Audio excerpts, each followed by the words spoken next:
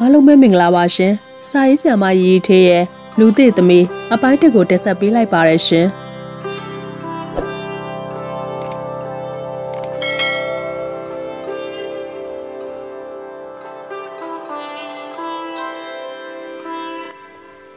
မြင်းစီမခီးစဉ်ကိုစတင်သွားတဲ့ချိန်က2004ခုနှစ်ဒီဇင်ဘာလအတွင်းမှာဖြစ်တယ်။လူသစ်သမီးနဲ့တွေ့ဆုံမုံက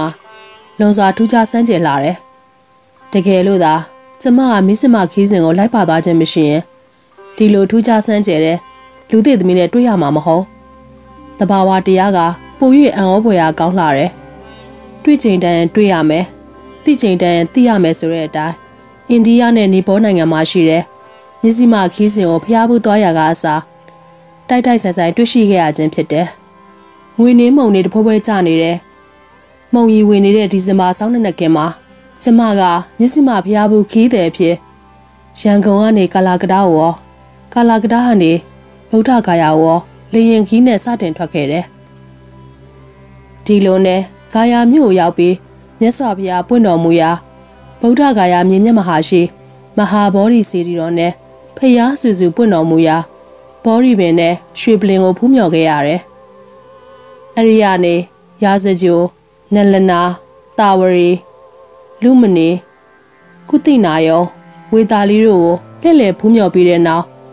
နောက်ဆုံးမှာမိဂရာဝန်ကိုတွားခဲ့တယ်။မိဂရာဝန်ကမြတ်စွာဘုရားရှင်တရားဥဒ္ဓမစကြာဟောတဲ့အဝီစီဟိတနေရာဖြစ်တဲ့အတွက်အဲ့ဒီနေရာကိုတွားရောက်ခဲ့ကြတယ်။ဒီဇင်ဘာစောင်းနှစ်ကင်းဖြစ်လို့ခက်ခိုက်တုံအောင်ချမ်းအေးလာတယ်။ဟီနိုကတကားပေါက်တွေအားလုံးကိုပိတ်ထားသည့်တိုင်အောင်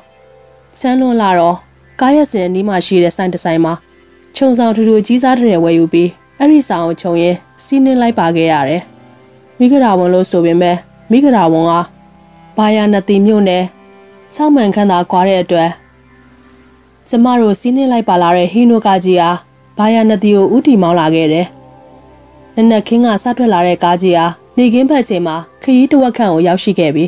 ။ဖျားဘူးဖွဲ့ဟာထမင်းဆိုင်မှာထမင်းကျွေတော့ထမင်းစားခဲ့တယ်။တလန်းလုံးကားဆောင်လို့လားမသိ။ ထမင်းစားရသည်မှာလွန်စွာစားကောင်းလာတယ်။အဲဒီနောက်လက်ဖက်ရည်တစ်ခွက်မှတောင်းရင်အခြားပွဲကိုအမှတ်မထင်ကြည့်လိုက်မိတယ်။ကျမတို့နဲ့ကားတူစီးတဲ့ဖျားဘူးခီးတဲ့တူဟာဘာမှမစားပဲမျက်နှာကလည်းရှုံ့မဲ့နေတဲ့အတွက်ကျမကမနေနိုင်တော့ပဲ။အမဘာဖြစ်လို့လဲမျက်နှာလည်းမကောင်းပါလား။အဲ့ဒီလိုမေးလိုက်မိတယ်။ဘိုင်းအောင်လို့အမကျမမဆေးပါတယ်တောက်မလား။ ကျမမှလည်းဆေးပြေဆုံးပါပါတယ်မကြသေးခင်ကမှဘိုက်ခွဲထားလို့ပါအင်းလေဘိုက်ခွဲထားတာမကြသေးဘူးဆိုတော့ဘိုက်အောင်မှာပေါ့ကျမလည်းထမင်းစားပြီးပြီဖြစ်လို့အဲ့ဒီအမျိုးသမီးနဲ့စကားပြောနေမိတယ်နိုင်ဝက်ခန့်ကြတော့အခြားသူတွေလည်းထမင်းစားပြီးပြီဖြစ်လို့ခရီးဆန်ရန်ကားပေါ်တက်သူကတက်ရေတောက်သူကတောင်းတဲ့အလုံးရှုံနေတယ်အဲ့ဒီအချိန်မှာကျမကအမကားပေါ်တက်ရအောင်အဲ့ဒီလိုပြောလိုက်တော့အမျိုးသမီးရဲ့မျက်နှာက ပို၍ရှုံထွက်လာပြီးညီမအမတော့ဘလို့မှမနေနိုင်တော့ဘူးဘိုင်ရန်အောင်နဲ့သူမရဲ့မျက်နှာမှာချွေးသီးချွေးပေါက်တွေပိုးပိုးပေါက်ကျလာပြီးမျက်နှာကလည်းလွန်စွာရှုံမဲ့လာတယ်ကျမကမနေနိုင်တော့ပဲအဖွဲခေါင်းဆောင်ရှိရအောင်အပြေးသွားပြီးခီးတဲ့တရားဘိုက်တော်တော်အောင်နေတယ်ဟင်ဟုတ်လားအဖွဲခေါင်းဆောင်အမျိုးသမီးကပြပြတလဲဖြစ်ပြီးဘသူလဲဘယ်နားမှာလဲဟိုမှာကျမကပြောပြောဆူဆူ ခေါင်းဆောင်အမျိုးသမီးကိုဘိုက်အောင်သူအမျိုးသမီးထိုင်နေရအောင်ခေါ်ဆောင်လာတယ်။ဟင်ဒေါ်ချီအောင်မလားဘလို့ဖြစ်တာလဲ။ကျမမခံနိုင်တော့ဘူး။ဘိုက်ရမ်းအောင်နေတယ်။ဒါဆိုရင်စိတ်ခံပြမှဖြစ်မယ်။ထိုနေရာလေးဟာတောမြို့လေးဖြစ်တဲ့အတွက်ဘာစည်းကမှမရှိ။ဒေါ်ချီအောင်ကိုတင်ပြီးကားနဲ့ဖြည်းဖြည်းမောင်းသွားတော့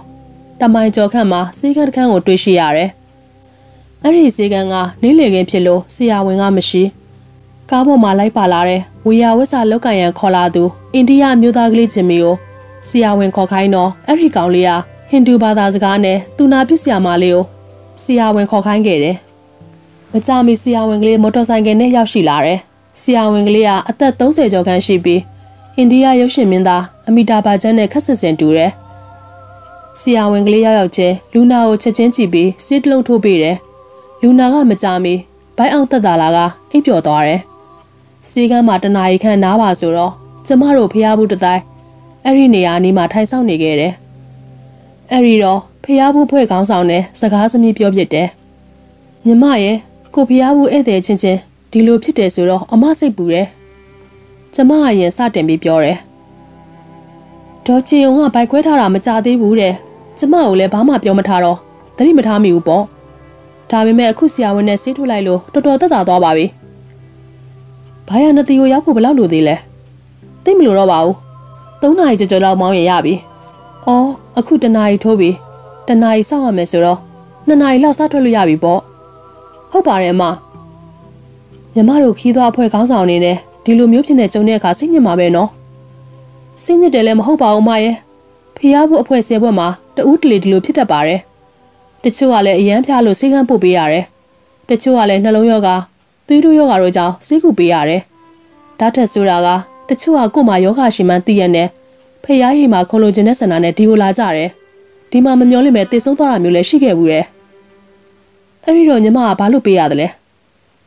သက်ဆိုင်ရာကိုအကြောင်းကြားပြီးသူတို့ကိုမြေကြတကြိုပြီးတဲ့အထိတာဝန်ယူပြီးလှုပ်ဆောင်ပေးခဲ့ရတယ်။အော်ညီမတို့လောက်ကလည်းတော်တော်တာဝန်ကြီးသားပဲ။တချို့ကလည်းယောဂမရှိဘူးထင်ပြီးဖျားဘူးခီးစင်မှာလိုက်ပါလာခဲ့တယ်။တွားရင်လာရင်လည်း ကောက်ခါငင်ကဆုံးသွားတာလည်းရှိခဲ့ဘူးတဲ့။ဒီတော့လည်းပဲတက်နိုင်မလဲလှုပ်တင်တာလှုပ်ပေးရတာပေါ့။ဟုတ်ပါတယ်။တခုခုဖြစ်ရင်လည်းစီးရုံစီကံကိုပို့ပေးတဲ့သူဆိုတော့ညီမမှာကုသူတွေအများကြီးရနေပြီ။အမရဲ့ဖះရဟန္တာလွဲလို့လူသားတွေရဲ့အနာဂတ်ကိုကြိုတင်မသိတဲ့တာမန်လူတွေရဲ့ဘဝမှာကိုကံကြမ္မာဟာဘယ်နေ့ဘယ်ချိန်မှာဘာဖြစ်မယ်ဆိုတာမသိကြအောင်မဟုတ်လားတကယ်တော့အိမ်မှာပဲနေနေခရီးပဲတော်တော် တည်ချင်းတရားနဲ့ရင်ဆိုင်ရမယ့်အချိန်ရောက်လာရင်တည်ဆုံးရတာဓမ္မထားပါပဲဟုတ်ပါတယ်ညီမရဲ့အဲ့ဒီလိုစကားစမြည်ပြောနေတဲ့အချိန်လူနာကအတော်တန်တက်တာလာတဲ့အတွက်လူနာကိုကားပေါ်ကိုတင်ပေးတယ်ခရီးဆက်ရမှာဖြစ်လို့ကျမတို့နှစ်ယောက်လည်းစကားလက်စပြတ်သွားခဲ့တယ်။ကျမတို့စီးနှင်းလာတဲ့ဟင်းနိုကားကြီးပြန်ထွက်လာခဲ့ပြီ။လူနာပါတဲ့အတွက်ခက်ပြေးပြေးမောင်းလာခဲ့တယ်။ဒီလိုနဲ့ပဲ3နာရီခီးကို4နာရီခန့်မောင်းခဲ့တော့ ညနေ6နာရီခန့်အချိန်မှာဘာယာနတီမြို့ကိုရောက်ခဲ့တယ်။ဒေါ်ချင်းယုံကိုဘာယာနတီမှာဆစ်ဆက်ကူတယ်။နောက်ရက်မှာဒေါ်ချင်းယုံကအတော်ဝင်ချင်းတွေကောင်းလာတော့ကျမတို့အုပ်စုမှာဝမ်းသာခဲ့ရတယ်။ကျမတို့အုပ်စုဟာဘာနတီဘုံတော်ကြီးကျောင်းမှာခိတတဲခုခဲ့ကြတယ်။အဲ့ဒီအချိန်အိန္ဒိယမှာရောက်နေနေတဲ့မြန်မာမျိုးသမီးလေးတူနဲ့တွေ့ဆုံခဲ့တယ်။သူ့နာမည်ကရမင်းလှိုင်။သူမကအိန္ဒိယပြည်မှာကွန်ပျူတာသင်တဲ့လာရောက်တက်နေသူတူဖြစ်တယ်။ ကျမကရမင်းလှိုင်ကိုဒေါ်ချင်ယုံရဲ့အကြောင်းကိုပြောတယ်။နောက်တစ်နေ့ရမင်းလှိုင်နဲ့တွေ့တဲ့အခါအမားတို့စီကခီးတယ်မကြီးနေကောင်းသွားပြီလား။တော်တော်တော့ကောင်းသွားပါပြီ။တော်သေးတာပေါ့လမ်းကဆရာဝန်ကကုပေးလိုက်လို့တက်တာသွားတာနှုတ်မရင်မလွယ်ဘူး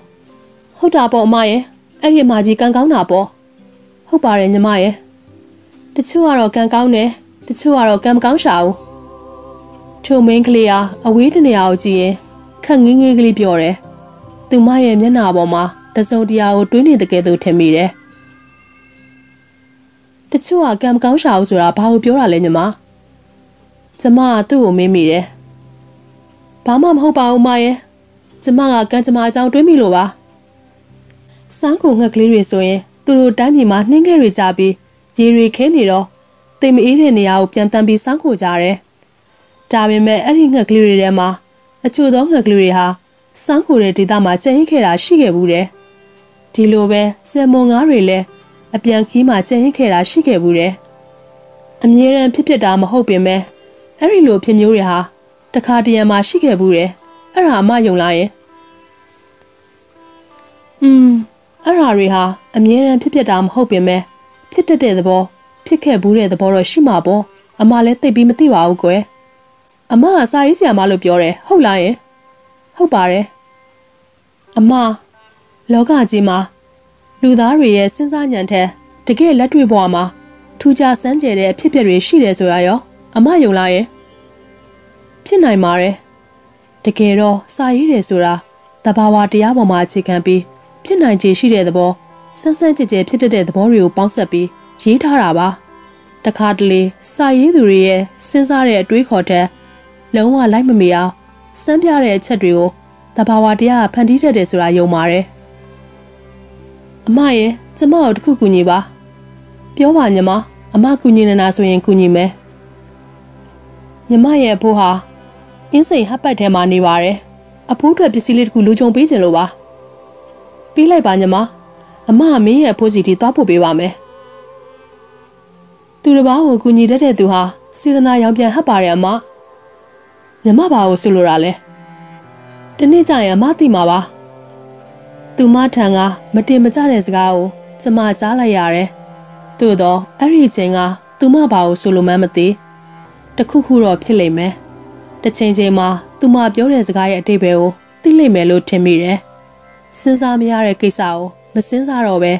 ရမင်းလိုက်လာပေးတဲ့ပါဆယ်ဘူးလေးကိုတင်ထားခဲ့တယ်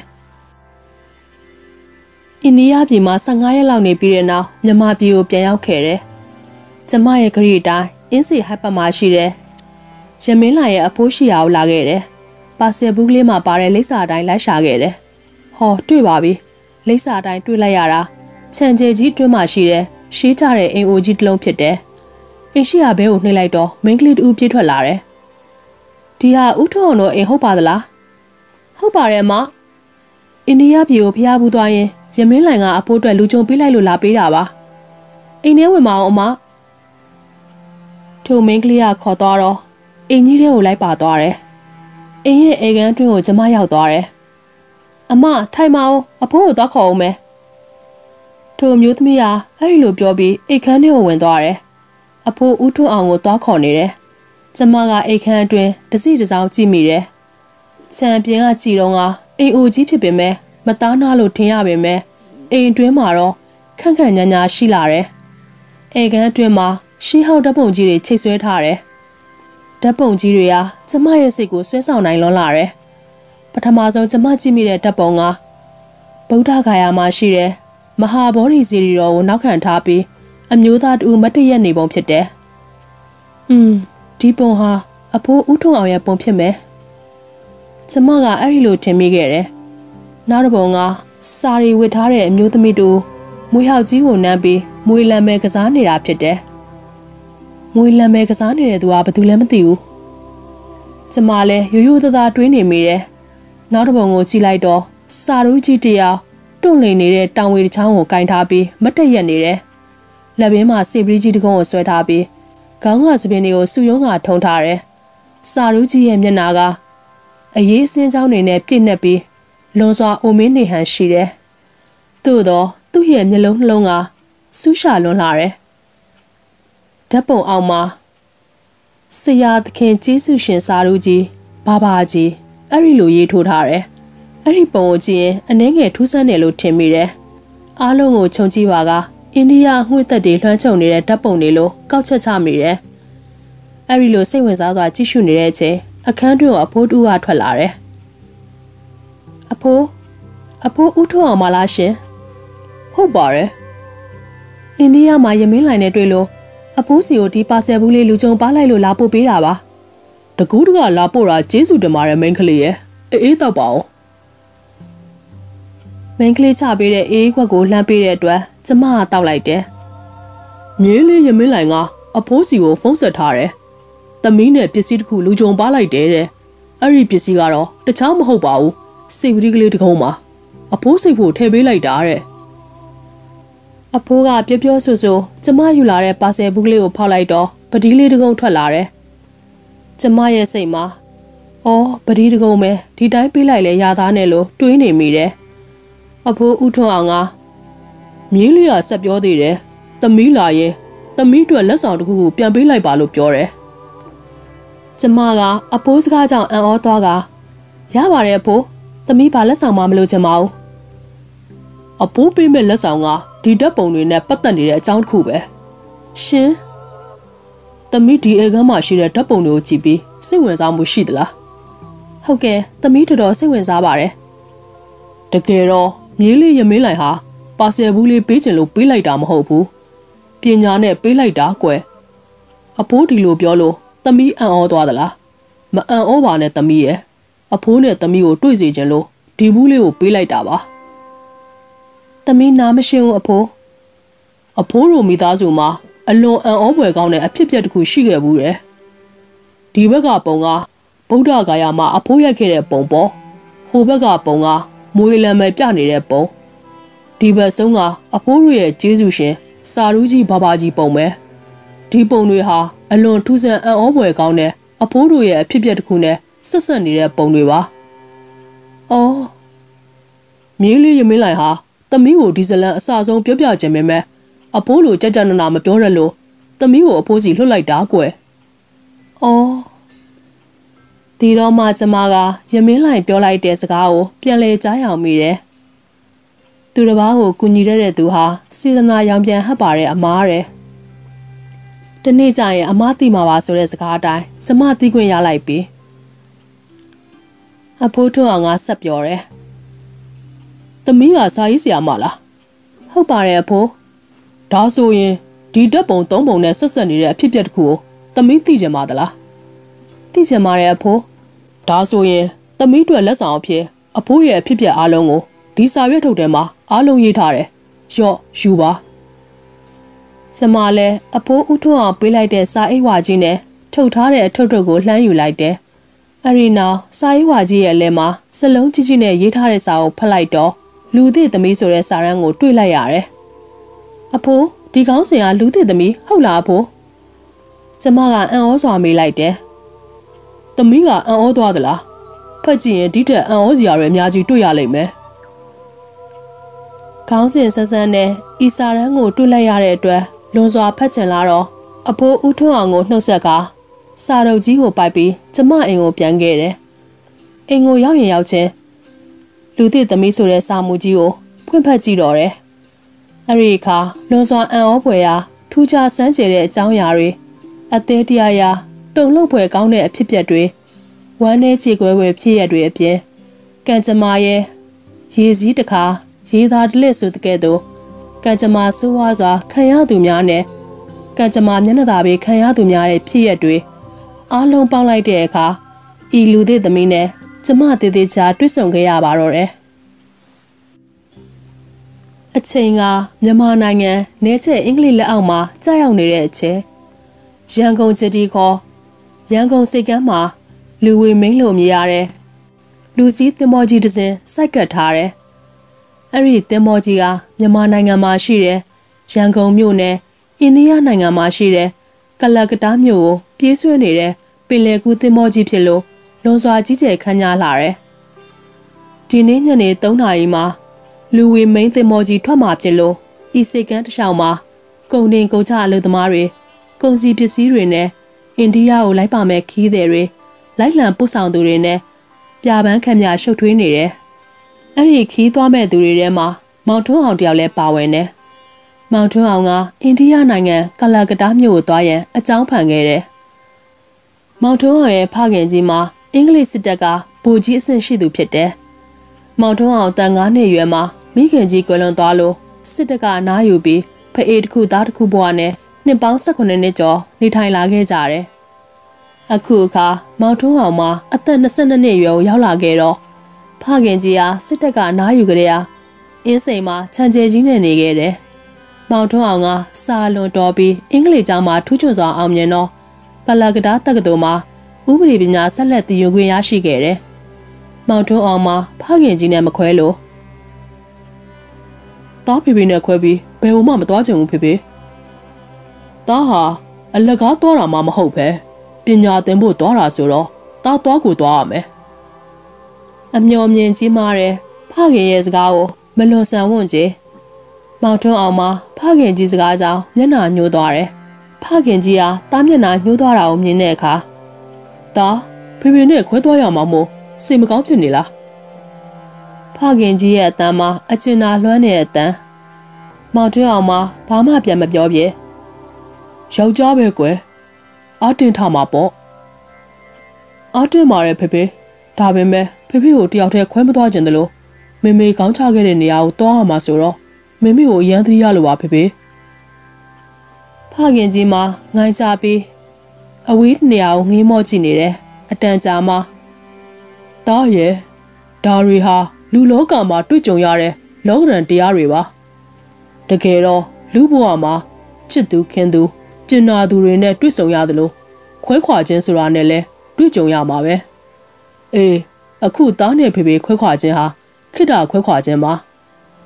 ဘွယ်တူးဂုံတူးရဖို့သွားတာဆိုတော့ကောင်းသောခွဲခွာခြင်းမှာသားရဲ့ ဟုတ်ပါတယ်ဖေဖေဝမ်းနေတယ်ဆိုတာလူပြော့လူညံ့တွေရဲ့အလုပ်ပါသားရဲ့စိတ်ကိုတင်းပြီးတားသွားဖို့လုပ်ရမယ်ဟုတ်ကဲ့ပါဖေဖေဒီလိုနဲ့မောင်ထွန်းအောင်တရားကာလာကတားကိုသွားမဲ့နေကိုရောက်လာတယ်ခရီးသွားရန်ပစ္စည်းတွေထုတ်ပိုးပြီးတဲ့နောက်ဖခင်ကြီးကိုထိုင်ပြီးကြော့တယ်တားဖေဖေကိုကြော့ပါတယ်ငါသားဖုံးကြည့်ပါစေတက်ရှည်ပါစေခလုံးမထီစူးမညီပါစေနဲ့ မောင်ထွန်းအောင်ကအန်ကိုတင်းတင်းကြိတ်ခါတင်းထားပေမဲ့လဲခွဲရမယ့်ရေးကြောင်းမျက်ရည်တွေကရဝိုင်းနေတယ်ကဲတင်းမိုးချိန်နေပြီဖေဖေတို့တင်းမိုးစိတ်ကိုစင်းကြစို့မောင်ထွန်းအောင်တို့တားဖာနှစ်ဦးလူဝေမင်းတင်းမိုးကြီးရှိရာစိတ်ကန်းကိုရောက်လာတယ်မောင်ထွန်းအောင်ကပထမတန်းအခန်းတစ်ခန်းလက်မှတ်ကိုဝယ်ယူထားတဲ့အတွက်သူ့ရဲ့ထုတ်ပိုးတွေကိုအခန်းတွင်းမှာထားပြီးတင်မော်ကုန်းဘက်စီကိုထွက်လာတယ်။ ဘော်ဒရာပေါ်မှာရက်နေတဲ့ဖခင်ကြီးကိုလှမ်းကြည့်တော့ဖခင်ကြီးဟာတော့အနန္တောနန္ဒငါးပါးကိုမမေ့နဲ့ကျမ်းမာယိုဂီးဆိုင်ဟုတ်ကဲ့ပါဖေဖေဖခင်ကြီးရဲ့အကျဉ်းသာမြတ်တာတရားကိုပို့ပြီးသိမြင်လာတယ်။အဲ့ဒီချိန်ပင်လေကူးတင်မော်ကြီးဟာစတင်ခီးထွက်ခွာရန်အုပ်အောဆွဲလိုက်တယ်။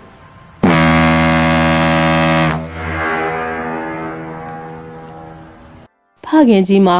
တားဖြစ်သူမောင်ထွန်းအောင်ကိုငေးကြည့်နေတယ်။ မကြာမီတင်မောကြောက်စုနှုတ်လိုက်တယ်။တင်မောကြီးမှာကန်းကနေခွာရန်ပြင်ဆင်နေလေပြီ။မောင်ထွန်းအောင်မှာကုန်းဘက်လျံမှာရက်နေစေ။တင်မောကြီးဟာဆက်ရှိန်နေနေနဲ့စတင်ထွက်ခွာနေပြီ။မောင်ထွန်းအောင်ကဖခင်ကြီးကိုလက်ပြနှုတ်ဆက်လိုက်တယ်။ဖခင်ကြီးမှာပြုံးရည်ပြန်လဲလက်ပြနှုတ်ဆက်တယ်။တင်မောကြီးဟာတဖြည်းဖြည်းကန်းနဲ့ဝေးလာပြီးလုံးလုံးပြောင်းလူလူထိဖခင်ကြီးကိုငေးကြည့်နေမိတယ်။ ဘလို့ရာမမမြင်ရတော့မှမောင်ထွန်းအောင်ကအိတ်ခမ်းစီကိုပြန်လာတယ်။အိတ်ခမ်းထဲမှာအိယာအသင်ခင်းထားတဲ့အတွက်အိယာပေါ်ကိုလှဲချလိုက်တယ်။အဲဒီနောက်မောင်ထွန်းအောင်ကနှစ်ဘူးပေါ်လက်တင်ကအိန္ဒိယမှာခေါင်းချခဲ့တဲ့မိမိကြောင်တွေးနေမိတယ်။လွန်ခဲ့သောနှစ်ပေါင်း20ကျော်ခန့်အချိန်ဘိုးဆန်မြင့်နဲ့မထွေးထွေးတို့ဇနီးမောင်နှံမှာတားဦးလေးမောင်ထွန်းအောင်တရားဝေးဖွားသက်ဆင်ခဲ့တယ်။တားဦးကလေးရလာတော့သူတို့ဇနီးမောင်နှံမှာ ပျော်မစွန်းအောင်ဖြစ်နေတယ်။မေမေကကလေးချီရင်သားလေးကဝဝတုတ်တုတ်ကလေးတစ်ချစ်ဖို့ကောင်းတာပဲကိုရဲ့။ယူသားလာတဲ့မေမေကခင်မုန်းတဲ့ကိုရှေးခေါ်တိုင်းအကိုလူသာခေါ်ရဲ။ဟုတ်တယ်ထွေးသားလေးကတိတ်ချစ်ဖို့ကောင်းသလိုသားလေးရဲ့အနာဂတ်မှာထွန်းထွန်းပပအောင်မြင်ရမယ်။ဒါကြောင့်သားလေးကိုမောင်ထွန်းအောင်လို့နာမည်ပေးလိုက်မယ်။ကောင်းတယ်ကောင်းတယ်မောင်ထွန်းအောင်ဆိုတဲ့နာမည်ကတိတ်ကောင်းတယ် ဒီလိုနဲ့ဖခင်ကြီးပေးခဲ့တဲ့နာမည်နဲ့မောင်ထွန်းအောင်တယောက်ကြီးပြင်းလာခဲ့တယ်။ဖခင်ကြီးဘိုးဆန်းမြင့်မှာမောင်ထွန်းအောင်လေး9နှစ်သားအရွယ်လောက်ရောက်တော့ဘိုးကြီးအဆင့်ကိုယာရုတိုးမြင့်ခြင်းခံရတယ်။ထွေးရီအကူယာရုတိုးသွားပြီ။ဟုတ်လားအကိုဒါဆိုအကိုကဘိုးကြီးဖြစ်သွားပြီပေါ့နော်။ဟုတ်တယ်ထွေး။ထွေးဖြစ်အရန်ဝမ်းသာတာပဲအကိုရဲ့။အကိုလည်းယာရုတိုးတော့အရန်ဝမ်းသာတာပေါ့။ဘိုးကြီးဆန်မြင့်တို့ဇနီးမောင်နှံနှစ်ဦးမှာပျော်မစွန်းအောင်ဖြစ်နေတယ် အဲ့ဒီအချိန်ကအင်္ဂလိပ်စစ်တပ်မှအမှုထမ်းတဲ့မြန်မာစစ်ဗိုလ်တွေမှာယာရုတိုးမြင့်ရန်လွန်စွာခင်းရင်လွန်လာတယ်။များသောအားဖြင့်ကာပြားစစ်ဗိုလ်တွေသာလျှင်ယာရုတိုးတာမြန်တယ်။သို့သောဘိုးဆန်မြင့်မှာအင်္ဂလိပ်စကားပြောကျွမ်းကျင်ပြီးစီးကပ်နဲ့ညီနေထိုင်ခဲ့တယ်။သူတို့တက်ကိုအုပ်ချုပ်တဲ့ဘိုးမူးကြီးဂျွန်ဘရောင်းမှာဘိုးဆန်မြင့်ကိုသဘောကျတာတကြောင်တို့ကြောင့်အခုလိုမျိုးယာရုတိုးခဲ့ခြင်းဖြစ်တယ်။အကိုယာရုတိုးသလိုထွေးပိုက်ထဲမှာလဲကလေးလေးရှိနေပြီအကိုရဲ့ ဟာယာရူလဲတိုးသားသမီးရနာလဲတိုးဆိုတော့အကိုတို့လောက်ကံကောင်းတဲ့သူမရှိဘူးဟုတ်တာပေါ့အကိုရဲ့အပြင်မှာတသားလေးရှိပြီဆိုတော့ဒီတစ်ခါအကိုကိုသမီးလေးမွေးပြပါနော်အော်အကိုရဲ့ကိုမွေးချင်တာမွေးလို့ရတယ်များအောက်မိနေသလားမသိဘူးမွေးချင်တာမွေးလို့ရရင်သမီးလေးမွေးပြမှာပေါ့အကိုရဲ့အေးပါကွာသမီးလေးပဲဖြစ်ဖြစ်သားလေးပဲဖြစ်ဖြစ်ချစ်ရမှာပါပဲသိဟုတ်တာပေါ့အကိုရဲ့ဘူကြီးဆံမြင့်တို့ဇနီးမောင်နှံမှာ ယာရူးလက်တက်သားသမီးရနာလည်းရမှာမို့လွန်စွာပျော်ရွှင်နေကြတယ်။အဲ့ဒီချိန်မြန်မာနိုင်ငံနဲ့အတူအိန္ဒိယပါနေချေအင်္ဂလိပ်တို့ရဲ့လက်အောက်မှာကြားရောက်နေတဲ့အချိန်ဖြစ်တယ်။ဒါကြောင့်မြန်မာနိုင်ငံနဲ့အိန္ဒိယနိုင်ငံကိုအုပ်ချုပ်သူကအင်္ဂလိပ်ဆိုရဖြစ်တယ်။မြန်မာနိုင်ငံကအင်္ဂလိပ်စစ်သည်ဟာအရေးကြောင်းရှိရင်အိန္ဒိယပြည်ကိုသွားရတယ်။ထို့အတူအိန္ဒိယပြည်ကအင်္ဂလိပ်စစ်တပ်များကလည်းအရေးကိစ္စရှိပါကမြန်မာပြည်ကိုလာရတယ်။ ဒီလိုနဲ့ဗိုလ်ကြီးဆံမြင့်မှာအိန္ဒိယကိုမကြာခဏသွားရတယ်။။သို့တော့တစ်ခါသွားရင်တစ်လခန့်သာကြာမြင့်နေ။ယာရူတိုပြီး9လခန့်အကြာမှာဘူကြီးဆံမြင့်ရဲ့အခန်းကိုဒုတက်ချက်တူရောက်ရှိလာတယ်။ဘူကြီးဆံမြင့်ကိုအလေးပြုပြီးတဲ့နောက်ဘူကြီးဆံမြင့်ကိုဘိုးမူကြီးဂျွန်ဘရောင်းကတွေ့ကြလို့ပါတယ်။အေးကောင်းပြီ။ဘူကြီးဆံမြင့်လဲဘိုးမူကြီးဂျွန်ဘရောင်းကခေါ်တော့ဘိုးမူကြီးဂျွန်ဘရောင်းအခန်းကိုတွားရောက်ခဲ့တယ်။အဲဒီနောက် ဘိုးမူကြီးဂျွန်ဘရောင်းရှိကိုရောက်တော့တရီဆွဲကရက်လိုက်တယ်။အော်ဘူကြီးဆံမြင့်ရောက်လာပြီကိုဟုတ်ကဲ့ပါဘိုးမူကြီးဘိုးကြီးဆံမြင့်တို့အဖွဲ့အိန္ဒိယကိုရိတ်ခါဖို့တန်တယ်လိုက်ရမယ်ဟုတ်ကဲ့ပါဘိုးမူကြီးဒီတစ်ခေါက်တော့နည်းနည်းကြာလိမ့်မယ်အိန္ဒိယဘက်မှာရှိတဲ့တက်ကဒီဘက်ကိုလက်နက်ခရမ်းတွေပါပို့လိုက်မယ်အဲ့ဒီတက်နဲ့အတူပြန်လာခဲ့ပါဟုတ်ကဲ့ပါဘိုးမူကြီးဘိုးကြီးဆံမြင့်ဘာပြောစရာရှိသေးလဲပြောစရာမရှိပါဘူးဘိုးမူကြီးကဲဒါဆိုသွားနိုင်ပြီ ဘိုးကြီးဆံမြင့်မှာအလုတ်ဝတ္တရားကိုကြည်ပြင်းစွာဆောင်ရွက်သူဖြစ်တော့အထက်ကမိတ်ကြလာရင်တက်တက်ကြွကြွသွားသူဖြစ်တယ်အခုခီးမှာစိတ်ကလေးနေတယ်။ဘာဖြစ်လို့လဲဆိုတော့ထွေးထွေးမှာဆွေမရှိမျိုးမရှိတကောင်ကျွတ်ဖြစ်နေတော့အာကိုရာကခင်မွန်းတဲ့ဘိုးကြီးဆံမြတ်သားရှိတယ်။အခုတော့ကိုဝင်လေးငါလာဖြစ်နေတဲ့အတွက်မိမိခီးသွားမဲ့ခီးစဉ်မှာကြာမယ်လို့ပြောတော့စိတ်မပျော်ရှင်ပဲအိမ်ကိုပြန်ခဲ့ရတယ်။ အိမ်ကိုပြန်လာတဲ့အခါမျက်နှာမရှင်ပြတဲ့ခင်မွန်းတဲ့ကိုတွေ့တော့အကိုမျက်နှာလည်းမကောင်းပါလား။ဘာဖြစ်လာသလဲ။ဘာမှမဖြစ်ပါဘူး။ရိခါပိုးရတဲ့နဲ့အိန္ဒိယကိုသွားမယ်ဆိုတော့အမိတ်ကြတယ်။အဲ့ဒါဘာဖြစ်တယ်လဲအကိုရဲ့အကိုသွားနေကြပဲ။အရင်ကသွားတာတိတ်မကြဘူး။ဒီတစ်ခေါက်အိန္ဒိယဘက်ကတက်ကိုစောင့်အောင်ပါဆိုတော့နည်းနည်းကြာမယ်။အော်အကိုကစိတ်ပူတာထွေးမှလည်းကိုဝင်ကြီးနဲ့ထားခဲ့ရမှာဆိုတော့အကိုစိတ်မချဘူး။ကိစ္စမရှိပါဘူး။ စိတ်မပူအောင်နဲ့အကိုရဲ့စိတ်မပူပဲဘယ်နေနိုင်မလဲထွေးရဲ့။သားလေးမွေးတော့ကလည်းခက်ခက်ခဲနဲ့မနှဲမှုရတာဆိုတော့အကိုပဲစိတ်ချနိုင်မလဲ။သားလေးမောင်ထွန်းအောင်ငုံမေးစင်တော့ကအချင်းကရှေ့ရောက်ပြီးတားဆီးထားသလိုဖြစ်နေတော့ကလေးမတော်တော်နဲ့မမွေးဖွားနိုင်ပဲတရက်ကျော်ပိုင်းနာပြီးမှမွေးရတယ်။မွေးပြီးတော့လဲသွေးသွန်နေလို့တော်တော်ကုသလိုက်ရတယ်။အကိုရဲ့စိတ်ချသွားပါ။ယောက်ျားဖောင်စီမိမမီးနေတယ်။ မိမတွေမီးနေချိန်ဟာအရေးကြီးတယ်။အရင်ကလေးမွေးတော့ကလည်းမွေးရတာခက်တယ်။နောက်ပြီးထွေးမှာဆွေမျိုးသားချင်းလည်းမရှိတော့ဝိုင်းကူမဲ့သူလည်းမရှိဘူး။ဒီတော့ထွေးမီးဖွားမဲ့အချိန်မှာအကိုရှိနေမှဖြစ်မှာပါ။ရပါတယ်ကိုရဲ့တက်ထဲမှာမိမဖော်ရရှိတာပဲသူဟာသူဖြစ်သွားမှာပါထွေးကစိတ်မပူရန်ပြောပေမဲ့ဘူကြီးဆံမြက်မှာထွေးတွယ်စိတ်ပူနေတယ်ထွေးထွေးကအသားဖြူဝင်းနေပြီးမျက်နှာလေးကလွန်စွာချောမောလာတော့ ဘူကြီးဆံမြက်မှာဇနီးချောကလေးကိုမျက်စိအောက်ကပြောက်မခံနိုင်အောင်ချစ်တယ်လို့ခက်အေးအေးနေတဲ့ချစ်စနီးကိုစိတ်မချဖြစ်နေတယ်ထွေးထွေးကလည်းဘူကြီးဆံမြက်ကိုစိတ်မပူရန်ပြောပေမဲ့သူမရဲ့စိတ်ထဲမှာလည်းအားကိုးစရာဆိုလို့ဘူကြီးဆံမြသာရှိတော့သူခီးသွားနေတဲ့အချိန်ကလေးမိဖွားရမယ်ရေးကိုတွေးပြီးကြောက်နေမိတယ်။အဲဒီနေ့ညကတောင်တွင်းမြောက်တွင်းနဲ့အတွေးမျိုးစုံကြောင့်တော်တော်နဲ့အိတ်မပြော။ည7နာရီကျော်မှမိန်းကနေအိပ်ပျော်သွားတယ်။ ထွေးထွေးအိပ်ပျော်နေတဲ့အချိန်ထူးဆန်းတဲ့အိမ်မက်တစ်ခုမြင်မှတ်တယ်။အိမ်မက်ထဲမှာအဖြူရောင်စာရီဝတ်ထားတဲ့အသက်30ကျော်အရွယ်အိန္ဒိယမျိုးနွယ်ဘွားအမျိုးသမီးတူဟာလေထဲမှာပြန်ဝဲလာပြီးထွေးထွေးရဲ့ရှေ့မှာဆင်းသက်လိုက်တယ်ထွေးထွေးလဲလီထဲမှာပြန်ဝဲလာတဲ့အမျိုးသမီးကိုတွေ့ရတော့အံ့ဩစွာနဲ့ကြည်နေတဲ့အချိန်အဲ့ဒီအိန္ဒိယနွယ်ဘွားအမျိုးသမီးဟာသမီးသမီးနာတာကြီးအမိကိုဘာကြောင့်စိုက်ကြည့်နေသနည်း ကျမနာမည်နာတာကြီးမဟုတ်ထွေးထွေးပါအမိကိုကျမမသိပါသမီးဟာမျက်စိမဟာလာတဲ့သူပဲမကြခင်မှာမျက်စိမကိုပြန်လာခဲ့ရမယ်သမီးနဲ့အမိဟာမကြခင်ပြန်ဆုံတွေ့ရတော့မယ်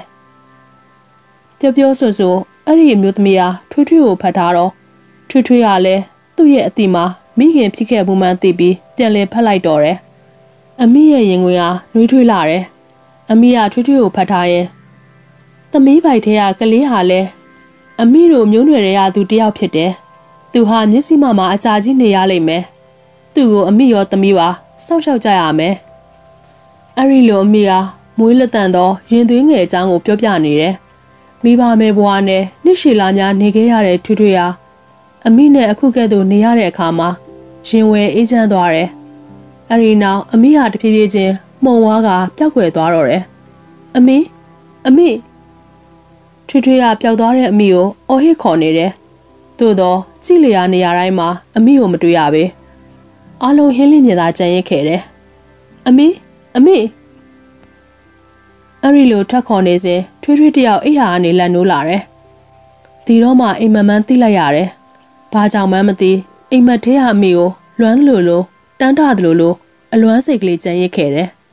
။ငါနဲ့အိမ်မက်ကလည်းထူးထူးဆန်းဆန်း ငါနာမည်ကနာတာကြီးတဲ့။နောက်မျက်စိမကလာတာတဲ့။ဘာတွေမှမသိပါဘူး။အိမ်မက်ကနိုးထလာပြီးကလေးကခေါင်းမကြည့်ပဲမူးနောက်နောက်ဖြစ်နေတယ်။တနေ့ကုန်အိမ်မက်ကိုသတိရနေတယ်။ထွေးထွေးစိတ်ထဲမှာအမိဆိုတဲ့အမျိုးသမီးကြီးကိုမြင်ဘူးသလိုလိုသိသလိုလိုဖြစ်နေတယ်။ဒီလိုနဲ့ညနေဆောင်ချိန်ကိုရောက်လာတယ်။အလုတ်ဆင်းလာတဲ့ဘူကြီးဆံမြင့်ကထွေးရထွေး အဲ့ဒီလိုအော်ခေါ်ရင်အိမ်ထဲကိုဝင်လာတယ်။အကိုထွေးဒီမှာထွေးထွေးကမိဖို့ကြောင့်ကအပြေးထွက်လာတယ်။ထွေးကိုအကိုသတင်းတစ်ခုပြောမလို့ဘာများလဲကိုရဲ့မထိတ်တာမလန့်တာဝမ်းသာစရာသတင်းမထွေးရဲ့ပြောပါအောင်ကိုရဲ့အကိုတို့တက်အိန္ဒိယကိုတစ်ဘက်ကသွားရမယ်ဒီနေ့အကိုကပုံမိုးကြီးစီဝင်ပြီးမိသားစုပါခေါ်ကျင်တဲ့အကြောင်းပြောတော့မိသားစုကလိုက်ခွင့်ပြုတယ်ဒါကြောင့်ထွေးရောသားလေးပါအိန္ဒိယကိုအတူတူလိုက်ရမယ်တိုက်ဆိုင်လိုက်တာအကိုရဲ့ ဘာတိုက်ဆိုင်လာလဲထွေးညကအိမ်မက်မက်လို့အဲ့ဒီလိုစချီကညကအိမ်မက်အကြောင်းကိုခင်မွန်းတယ်ကိုပြောပြလိုက်တယ်။ဘူကြီးစံမြင့်ကစစ်သားပြီပြီးနမိတ်အတိတ်ကိုမကောက်ဖဲအိမ်မက်မတာကောင်းတာပေါ့ကွာ။ဘာပဲဖြစ်ဖြစ်အကိုနဲ့တူလိုက်ရတော့အကိုကစောက်ရှောက်နေတာပေါ့။ဟုတ်ပါတယ်ကိုရဲ့ထွေးလက်အကိုနဲ့တူလိုက်ရမယ်ဆိုတော့အားရှိတာပေါ့။ထွေးရောသားလေးပါပါတယ်ဆိုတော့ဟိုမှာဘလောက်ကြာကြာနေရနေရကိစ္စမရှိဘူး။မွေးချင်ရောက်တဲ့အထိမပြန်ရသေးလဲဟိုမှာပဲမွေးပေါ့။ တကယ်လို့သမီးလေးမွေးရင်အမီနာလို့မှတ်ရမယ်။အိုးအကိုကလည်းဟုတ်တယ်လေအိန္ဒိယမှာမွေးရင်အိန္ဒိယနာမည်မှတ်ရမှာပေါ့ဘိုးကြီးဆံမြင့်ကဟာတာနောပြီးပြောနေတော့ထွေထွေဟာဒါဆိုသားလေးမွေးရင်ရောသားလေးမွေးရင်မူတူးစာမီလို့မှတ်ရမှာပေါ့မိသားစုပျော်ရွှင်စွာဟာတာနော၍ပြောရင်ရီမောခဲ့ကြတယ် ဘိုးကြီးဆံမြင့်တို့တက်ကရိခါတက်နဲ့အတူအိန္ဒိယနိုင်ငံဘုံပေမြို့မှာစခန်းချတယ်။ဘုံပေမြို့ကမြို့ကြီးဖြစ်တော့ဆိုင်ငန်းကြီးတွေရှိတဲ့ကဲ့သို့ခေါင်းရွက်ပြတ်တိုးဆိုင်ကလေးတွေလည်းများပြားလာတယ်။လမ်းမကြီးမှာလူဆွဲလန်ချားများကလည်းများပြားလာပါ၏။ကလေးလူကြီးများနဲ့စီကားလာတဲ့မြို့တစ်မြို့ဖြစ်တယ်။ဘုံပေမှာရှိတဲ့အင်္ဂလိပ်စစ်တပ်ဝင်းထဲမှာရှိတဲ့ family ဆောင်အခန်းတစ်ခန်းမှာဘူကြီးဆံမြင့်တို့ဇနီးမောင်နှံနေထိုင်ခဲ့ကြရတယ်။ ညနေဆောင်ကိုရောက်တဲ့အခါ family line ကနေမိသားစုတွေကကျူဟုရက်ွက်နီးမှရှိတဲ့ပင်လယ်စိတ်ကမ်းကိုလင်းချင်းခံထွက်လေးရှိတယ်။စားရောက်ကားစားအနှဲငယ်စိမ့်နေတဲ့အိန္ဒိယမိသားစုများနဲ့တဖြည်းဖြည်းရင်းနှီးသွားခဲ့ကြတယ်။ညနေဆောင်ကိုရောက်တဲ့အခါ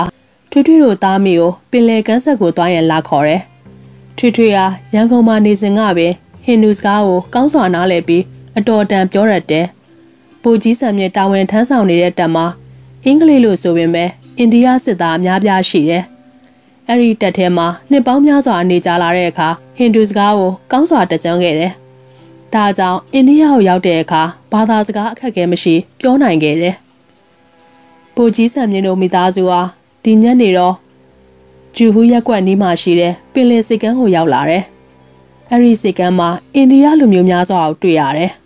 ။အကိုစိတ်ကမ်းမှာလူတွေအများကြီးပဲနော်။ဘာလို့နေကြတာလဲ။ လေးရှူနေတာလေ။သူတို့လူမျိုးတွေဟာလေရှူရင်အသက်ရှည်တယ်လို့အယူရှိတယ်။ဒါကြောင့်အဝါဟာတာလို့ခေါ်တဲ့လေရှူဖို့အတွက်ဒီစိတ်ကမ်းကိုလာခဲ့ကြတာပဲ။အော်တကယ်တော့ပင်လယ်လေဟာတက်စင်ပြီးရေတက်ပါတဲ့လေဖြစ်လို့အသက်ရှည်တယ်ဆိုတာဖြစ်နိုင်တယ်။ထွေးမှလည်းကိုဝင်နဲ့ဆိုတော့ဒီလိုတက်စင်တဲ့လေကိုရှူတဲ့နဲ့အကိုပြန်မရောက်သေးလဲဒီမှာလာပြီးညနေတိုင်းလေရှူနော်။ဟုတ်ကဲ့အကိုထွေထွေတရားပင်လယ်ကမ်းခြေမှာ ညနေတိုင်းသားကလေးကိုလက်ဆွဲပြီးလမ်းလျှောက်ဖြစ်ခဲ့တယ်။အဲ့ဒီနေရာမှာစာရီအဖြူဝဲအမျိုးသမီးများကိုမြင်ရတဲ့အခါအိမ်မက်ထဲဟာမိကိုသတိရမိတယ်။အော်မမျော်မှန်းမဲနဲ့အမိတို့တိုင်းပြည်ကိုရောက်လာခဲ့ပြီ။ရှေ့ဆက်ဘာဖြစ်အောင်မလဲမသိဘူး။အဲ့ဒီလိုတိုးတိုးလေးရေရွံ့မိတယ်။ဘုံမွေမြို့ကိုရောက်ခဲ့တာနှစ်လခန့်ရှိကြပြီ။သူတစ်ပါးတိုင်းပြည်ဖြစ်နေတော့အနေကြလာရတဲ့အမျှပြင်းလာတယ်။မြမပြည်ကိုပြန်ကျင်စိတ်တွေတဖွာဖွာပေါ်ပေါက်လာတယ်။ ထိုနေ့ဟာဒီပါရီပွဲတော်နေ့ဖြစ်တယ်။ဘုံပေတစ်မျိုးလုံးမီးတွေထွန်းကပြအိုးတွေဖောက်ကြတယ်။သားကလေးမောက်ထွန်းအောင်ကပြအိုးတွေဖောက်နေရတဲ့အတွက်လွန်စွာပျော်ရွှင်နေတယ်။မမေတသားလေးပြအိုးဖောက်ချင်တယ်။အေးအေးမမေဝယ်ပေးမယ်။ထွေးထွေးကပြအိုးတွေကိုဝယ်ပြီးပြန်လာတယ်။စစ်တပ်အပြင်ဘက်မှာရှိတဲ့လမ်းပေါ်မှာမောင်တွန်းအောင်ကလေးဟာပြအိုးဖောက်နေတယ်။မမေတားပြအိုးဖောက်ရတာအရမ်းပျော်တာပဲ။အေးပါသားရဲ့ပျော်စရာပေါ့။ မမေတားမီးထွန်းတဲ့နေရာကိုတွားကြည့်ခြင်းနဲ့။တွားလေမမေလိုက်ပို့မယ်။တလန်းလုံးမီးထွန်းတာတော့လင်းထိန်နေတယ်။ပွဲတော်အခါရဲဖြစ်လို့လူများစွာလမ်းပေါ်မှာရှောက်သွားနေကြတယ်။ထွေထွေလဲတားလေးကိုလည်းဆွဲပြီးအဲ့ဒီလမ်းတွင်ကိုရှောက်ကြည့်တဲ့အခါလမ်းထောက်ကျွန်းနေရာကိုအရောက်မတ်တက်ရက်နေတဲ့စာရူးကြီးတူကိုအမှတ်တင်တွေးလိုက်ရတယ်။အိန္ဒိယမှာစာရူးများစွာမရေတွက်နိုင်အောင်များပြားလာတော့ဒီစာတူးကိုတွေ့ရတာ များစွာမဆန်းလာလို့ထင်ပြီးရှေ့ကနေဖျက်လျှောက်သွားတော့မျက်စိမကမိန်ကလေးဒီကိုရောက်နေပြီကိုအဲ့ဒီလိုစကားကိုပြပြသားကြီးကြားလိုက်ရတော့ထွထွရအံ့ဩသွားတယ်။ဒါကြောင့်စာရူးကြီးလက်ထဲကိုရူပီငွေနှဲငယ်လှူလိုက်တယ်။အဲ့ဒီခါစာရူးကြီးဟာမင်းနဲ့တဲ့ကံကြမ္မာကိုတွေ့နေရတယ်။ကျွန်ုပ်တဝက်သားကဲတင်နိုင်မယ်။အဲ့ဒီလိုပြောပြီးဘာစကားမှဆက်မပြောဘဲရက်နေတယ်။ထွေထွေရလဲ ဘလို့အတိပယ်မှမသိတော့အရှင်စာရူးကြီးဘာကိုဆိုလိုတာလဲ။အဲ့ဒီလိုမေးလိုက်တော့စာရူးကြီးကဘာစကားမှထပ်မပြောတော့ဘူး။အဲ့ဒီလိုစာရူးကြီးရဲ့ရှင်မရက်နေတဲ့အချိန်မိမနဲ့ကလေးပြောက်သွားလို့ဘူကြီးစံမြင့်ကလိုက်ရှာရင်အဲ့ဒီနေရာကိုရောက်လာတယ်။ထွေဘယ်သွားနေတာလဲမင်းတို့သားမိပြောက်သွားလို့စိတ်ပူလိုက်ရတာ။သားလေးကမိထွန်းတာကြည့်ကျင်နေဆိုလို့လိုက်ပြနေတာပါ။လာလာပြတ်မယ်။ ဘူကြီးစံမြင့်ကထွေးထွေးရဲ့လက်ကိုဆွဲပြီးခေါ်သွားတော့လိုက်ပါသွားရတယ်။အိမ်ကိုရောက်တဲ့အခါစာရူးကြီးပြောတဲ့စကားကိုခင်မွန်းတဲ့ကိုပြပြတော့